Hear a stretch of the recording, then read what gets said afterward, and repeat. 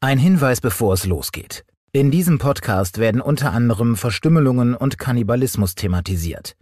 Denjenigen, denen solche Schilderungen zu nahe gehen, raten wir vom Hören ab. Tatort Deutschland präsentiert den dunklen Januar. Jeden Tag ein neuer Kriminalfall. Ein tägliches Tatort Deutschland Spezial. Mein Name ist Sky Dumont. Und ich wünsche euch eine spannende Krimi-Zeit. Moinsen und mein Name ist Nathalie Strauß. Wir präsentieren euch Kriminalfälle aus der Vergangenheit und der Gegenwart, die uns, auch wenn sie vielleicht Jahrhunderte zurückliegen, noch immer faszinieren, beschäftigen oder, wie in unserem heutigen Fall, schlichtweg entsetzen. Mit mir am Mikro ist Mirko Kasimir. Hello. Hi, grüß dich, Nathalie. Und hallo, liebe Zuhörerinnen und Zuhörer. Wir erzählen heute von Fritz Hamann, einem der bekanntesten und schlimmsten Serienmörder der deutschen Kriminalgeschichte. Mindestens 24 Morde gehen auf sein Konto. Er tötete teilweise im Wochentakt. Fritz Hamann ist auch bekannt als der Schlechter, der Metzger oder der Wehrwolf. Vor allem aber als der Vampir von Hannover. Da muss ich auch direkt sagen, als Fantasy-Vampir-Fan finde ich diesen Begriff sowas von doof, weil viele von uns ja Vampire mit etwas irgendwie mystisch, romantischem verbinden. Alte Schlösser, Vollmond, schicke Kostüme, das Ganze drum und dran. Ja, aber an dem, worüber wir heute reden, ist rein gar nichts romantisch. Es ist einfach nur schrecklich und entsetzlich vom bitteren Anfang bis zum Ende. Und Leute, hier noch einmal eine kurze Warnung. Dieser Fall ist wirklich heftig. Das sagen wir oft, aber diesmal ist diese Warnung noch dringender als sonst. Wir springen direkt rein. Das folgende ist eine Aussage des Täters vor Gericht im Jahr 1924, aufgeschrieben vom Prozessbeobachter Georg Lessing. Ich habe nicht die Absicht gehabt, die jungen Leute umzubringen. Es ist vorgekommen, dass Knaben immer wieder kamen. Ich habe sie dann vor mir schützen wollen. Ich wusste, wenn ich wieder meine Tour habe, dann passiert was. Ich habe geweint. Macht mich nur nicht immer wild. Wir balgten uns manchmal stundenlang. Und ich dachte oft, Gott, oh Gott, wo soll das hin? Ich habe mich mit ganzem Leibe auf die jungen Leute geworfen. Sie waren durch das Herumtreiben und die Ausschweifungen ermattet. Ich habe ihren Adamsapfel durchgebissen, zugleich wohl auch mit den Händen gewürgt und gedrosselt. An der Leiche brach ich zusammen. Ich machte mir dann schwarzen Kaffee. Den Toten legte ich auf den Boden und hatte ein Tuch übers Gesicht. Dann sieht er einen nicht so an. Bitte was? Wer war dieser, ich will ihn gar nicht Mensch nennen, wer konnte so etwas Grausames tun? Mirko, am besten gehst du jetzt noch mal ein paar Jahrzehnte zurück und erzählst uns Hamanns Lebensweg. Fritz Hamann wird am 25. Oktober 1879 in Hannover geboren. Er ist das sechste Kind der Familie. Die Mutter stellt Zigarren her, der Vater ist Lokomotivheizer. Die Kindheit ist geprägt von seiner Liebe zur Mutter und der Abneigung gegen den Vater, die sich zum Hass auf ihn steigert. Der Heizer ist tyrannisch und alkoholabhängig. Harman wird später angeben, dass er als Zehnjähriger von ihm sexuell missbraucht wurde. Anderen Quellen zufolge habe ihn einer seiner älteren Brüder über längere Zeit missbraucht. Jahre später beschuldigt Harman seinen Vater auch, einen Kollegen getötet und die Mutter vergiftet zu haben.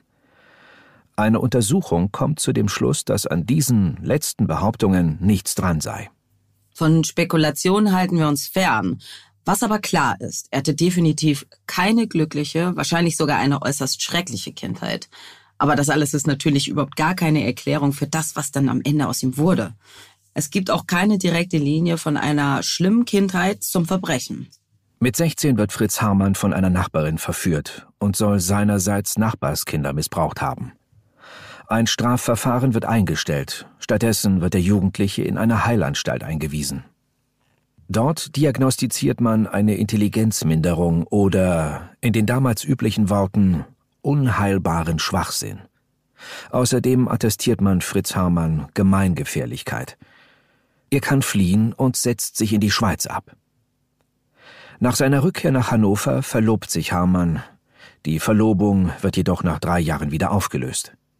Im Jahr 1900, Hamann ist 21 Jahre alt, folgt die Einberufung zum Militärdienst, aus dem er 1902 wieder entlassen wird aufgrund von Nervenschwäche und erheblichem Schwachsinn. Er wird für erwerbsunfähig erklärt und mit einer Militärrente versehen. Im Folgenden gerät Hamann auf die schiefe Bahn. Die Jahre von 1905 bis 1918 verbringt er größtenteils im Gefängnis, was ihn davor bewahrt, in das schlimmste Morden jener Zeit zu geraten, den Ersten Weltkrieg. Er sitzt für kleine Delikte, zumindest wenn man sie mit dem vergleicht, was später kommen sollte. Diebstahl, Betrug, Körperverletzung, Beleidigung, aber auch wegen sexueller Unzucht mit männlichen Minderjährigen. Nach seiner Entlassung lebt Hamann in der Roten Reihe Nummer 2, einem schiefen Fachwerkhaus in der Kahlenberger Neustadt. Die Altstadt von Hannover ist zu jeder Zeit geprägt von Armut und Verbrechen, aber auch von legalem, halblegalem und illegalem Vergnügen. Es gibt Prostituierte und Zuhälter, Diebe und Hehler, einen lebhaften Schwarzmarkt, ohne den in den Jahren nach dem Ersten Weltkrieg keine deutsche Stadt auskommt. Es gibt einschlägige Unterweltskneipen, Elend und falschen Glanz, Verzweiflung und verzweifelte Lebenslust. Und natürlich auch Treffpunkte für Homosexuelle. Zudem muss man wissen, Homosexualität zwischen Männern ist verboten. Noch gilt der berüchtigte Paragraph 175, der erst 1994 endgültig aus dem Strafgesetzbuch gestrichen wird. Ein Mann, der mit einem anderen Mann Unzucht treibt oder sich von ihm zur Unzucht missbrauchen lässt, wird mit Gefängnis bestraft. In dieser Zeit und diesem Umfeld verschwindet im September der 17-jährige Friedel Rothe. Friedel soll eigentlich für das Examen lernen, stattdessen bummelt er und treibt sich in der Stadt herum. Um ein wenig Geld zu haben, verkauft er die Zivilkleidung seines Vaters, der zu dieser Zeit noch an der Front ist. Irgendwann kehrt er von seinen Streifzügen nicht mehr nach Hause zurück. Die Mutter und der kurz darauf heimkehrende Vater suchen ihren Sohn und stellen, nachdem die Polizei sich anfangs nicht für den Fall interessiert, eingehende Ermittlungen an. Schließlich finden sie Friedels Freunde Paul, Helmut und Hans. Erst wollen sie nichts sagen, doch schließlich beichten sie ihre Geschichte. Sie hätten in einem Café einen feinen Herrn kennengelernt, einen Kriminalbeamten. Ja, genau. Dieser feine Herr und angebliche Kriminalbeamte ist Fritz Hamann. Klingt erstmal nach einem klassischen Hochstapler, ein Kleinkrimineller, der sich als vertrauenswürdiger Beamter der Kriminalpolizei ausgibt. Aber so hoch hat Hamann gar nicht gestapelt. Er ist zwar kein Beamter, aber verdient sich immerhin ein bisschen Geld als Spitzel für das Diebstahldezernat der Polizei dazu. Merkt euch das, denn das wird später noch wichtig. Okay, Mirko, wie geht's weiter? Der feine Herr, so berichten Friedels Freunde, habe sie beschenkt und in den Stadtwald mitgenommen, und dort habe er sie verführt. Friedel sei ihm besonders nah gewesen und habe eines Tages erzählt, ich bin schon in seiner Wohnung gewesen, da amüsieren wir uns und rauchen. Endlich wird die Polizei aktiv. Der feine Herr und angebliche Kriminalbeamte wird aufgespürt. Es ist Fritz Hermann. Der echte Kriminalbeamte Brauns stürmt des Nachts Hermanns Wohnung und überrascht ihn mit einem großen, schlanken Jungen im Bett. Ein weiterer Schulfreund Friedels, wie sich herausstellt. Der junge Mann und Hermann werden abgeführt. Doch von Friedel Rothe fehlt jede Spur. Hamann wandert für neun Monate wegen Unzucht mit Minderjährigen ins Gefängnis. Der vermissten Fall Friedel Rothe wird ungelöst zu den Akten gelegt. Jahre später wird Hamann gestehen, den 17-Jährigen getötet zu haben. Vor Gericht sagt er aus, Damals, als der Kriminalbeamte uns verhaftete, steckte der Kopf des ermordeten Knaben unter Zeitungspapier hinterm Ofen. Ich habe ihn später im Stöckener Friedhof verscharrt. Das ist erst der erste Mord. Der erste von mindestens zwei Dutzend. Doch es sollen noch ein paar Jahre vergehen, bis das große Töten beginnt. Erst einmal lernt Hamann so etwas wie die Liebe seines Lebens kennen. 1919. Fritz Hamann ist inzwischen 40 Jahre alt und lernt den 20-jährigen Hans Granz kennen. Sie führen eine intensive, aber gleichzeitig auch offene Beziehung. Sie teilen sich zeitweise eine Wohnung oder besser gesagt ein Zimmer zur Untermiete in der Neuenstraße Nummer 8. Ein vor allem von Arbeiterfamilien bewohntes Haus, dessen Rückseite direkt am Fluss Leine liegt. Harman sagt über Granz, wenn der Hans mich küsste, wenn er mich so lieb in den Arm nahm und mich streichelte, Dann war ich weg. Dann konnte der mit mir machen, was er wollte. Harmanns Wohnung entwickelt sich zu einem turbulenten Ort. Sie dient als Handelsplatz für Tauschgeschäfte und Hehlerware. Es gibt Trinkgelage und Nachbarn berichten von Geschlechtsverkehr mit wechselnden Partnern, Männern und Frauen. Außerdem verdient er sich ein wenig Geld, indem er in seiner Wohnung Fleisch zu Wurst und Sülze verarbeitet. Klingt unvorstellbar, wäre heute gar nicht mehr möglich, aber damals war das gar nicht mal so unüblich. Trotzdem wird das später, wie ihr euch vielleicht denken könnt, zu unappetitlichen Gerüchten führen. Und es hilft ihm sicher nicht, dass die Nachbarn an das Geräusch eines Fleischwolfes gewöhnt sind und das Knacken von Knochen, die mit einem Beil zerteilt werden. Die eigentliche Mordserie beginnt 1923. Harman ist da bereits 45 Jahre alt. Seine Opfer sind zwischen 10 und 22 Jahren alt.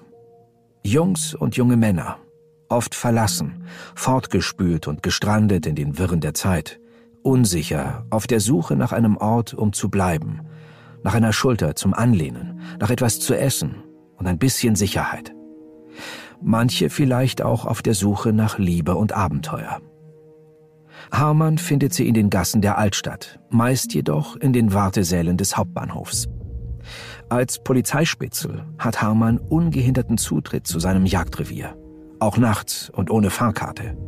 Niemand verdächtigt den feinen Herrn, der für die Kripo arbeitet, alle jungen Männer anspricht und sie unter Vorwänden mitnimmt, angeblich auf die Polizeiwache. Er lockt die Jungs unter verschiedenen Vorwänden in seine Wohnung. Oft hat er Sex mit ihnen. Er nennt sie meine Puppenjungs. Das war eine damals übliche Bezeichnung für männliche Prostituierte. Mit einigen treibt er sich wochenlang herum, Viele lässt er einfach gehen. Doch für mindestens 23 Kinder, Jugendliche und junge Erwachsene gibt es kein Entkommen. Harman beißt sie in den Hals, durchbeißt ihren Adamsapfel und wirkt sie dabei zu Tode. Zwischen Februar 1923 und Juni 1924 mordet er beinahe monatlich.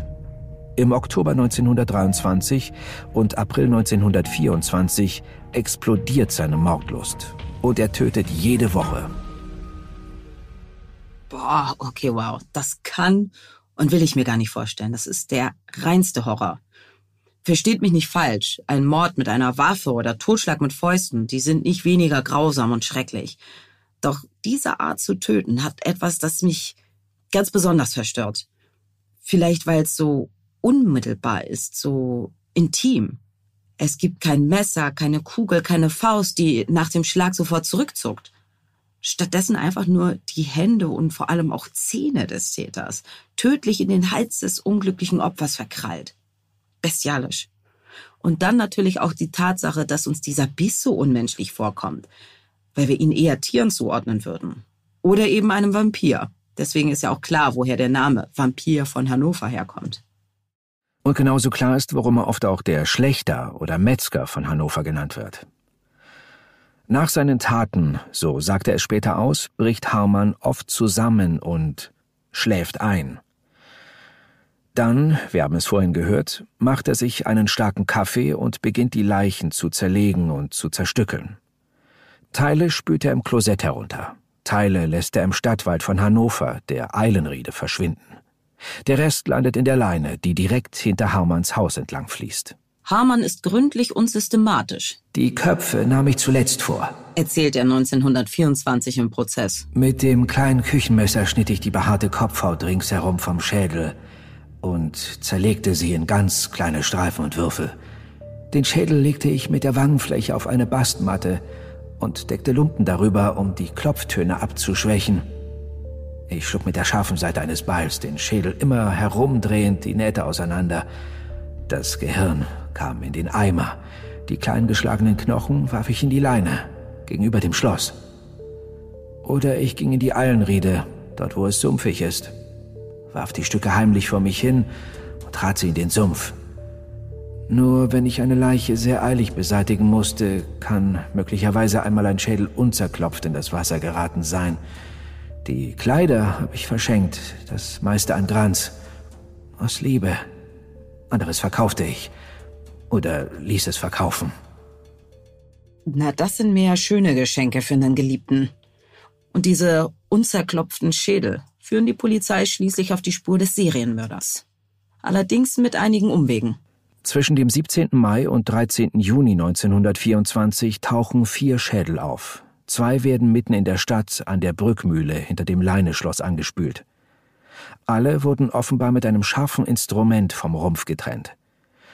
Doch noch immer bleibt die Polizei viel zu untätig, sucht nach natürlichen Erklärungen, etwa Grabräubern, die zu jener Zeit ihr Unwesen trieben und die Schädel im Fluss entsorgt haben könnten. Dann finden Kinder auf einer Wiese einen Sack mit menschlichen Knochen, und ein fünfter Schädel taucht auf. Es gibt Gerüchte über Menschenfallen, über Kinder, die in Kellern verschwinden und Jungs, die im Fluss versenkt werden. Auf dem Markt sei Menschenfleisch verkauft worden, behaupten manche, und ein Wehrwolf gehe um. Doch niemand verdächtigt Fritz Harmann. Wirklich nicht? Nachbarn wundern sich ja schon über nächtliche Knopf- und Hackgeräusche. Einer warnt sogar die Nachbarskinder, nicht zum Hamann zu gehen, denn dort gingen zwar viele Knaben rein, aber nur wenige kämen wieder heraus. Andere beobachten, dass Hamann ungewöhnlich oft mit einem zugedeckten Eimer zum Klosett geht, das im Hof des Hauses liegt. Was ist mit Frau Engel und Frau Wegehenkel, denen er immer wieder Kleidung von Kindern und jungen Männern verkauft? Was ist schließlich mit Hans Granz, seinem Geliebten und Partner in Crime, zumindest bei kleineren Gaunereien? Und was ist vor allem mit der Polizei? Vielleicht will man ja auch gar nicht so genau hinsehen. Schließlich ist der Mann, auf den so viele Hinweise und Gerüchte deuten, in ihren Diensten. Erst ein Zufall bringt die Polizei endlich auf die richtige Spur. Harman gerät am Bahnhof in einen Streit und wird wegen Bedrohung eines Jugendlichen verhaftet. Am 23.06. durchsucht die Polizei seine Wohnung und findet zahlreiche, teilweise blutbefleckte Kleidungsstücke, die jungen Männern zu gehören scheinen. Harman bleibt in Haft, wird verhört und gesteht am 1. Juli sieben Morde. Kurz darauf senkt das Verkehrsamt Hannover mit einem Wehr den Wasserstand der Leine. Hunderte suchen im Flussbett nach Leichenteilen und finden mindestens 300 menschliche Überreste, die von mindestens 22 Personen stammen. Der Mörder ist gefasst und langsam wird das ganze Ausmaß seiner Verbrechen deutlich. Man muss an dieser Stelle auch sagen, dass die Polizei eine Mitschuld daran trägt, dass Hamann so lange morden konnte. Vermisstenanzeigen wurden nicht weiter verfolgt, Hinweise ignoriert und offenbar gern weggeschaut, wenn es um den eigenen Spitzel ging. Nachdem der Fall erst deutschlandweit und dann international für Aufsehen sorgt, müssen schnell Erfolgsmeldungen her, die vom eigenen Versagen ablenken. Wie sich später herausstellt, wurde Harman in der U-Haft massiv gefoltert. Die Beamten malträtieren Harman mit Fäusten, Stiefeln und Gummischläuchen. Sie stellen Schädel und einen Sack mit Knochen in seiner Zelle auf. Die Schädel sind von innen rot erleuchtet und Harman wird eingeredet, die Seelen der Toten würden ihn holen, wenn er nicht gesteht. Harman gesteht.